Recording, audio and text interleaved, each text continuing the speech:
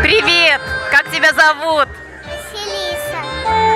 Василиса, ты такая э, красивая, нежная девочка. Ты сегодня э, пришла петь сюда или ты э, пришла э, посмотреть, как будут петь э, твои родные и близкие? Я, я пришла, чтобы танцевать. Здорово! Ты уже танцуешь! А сколько тебе лет? Пять.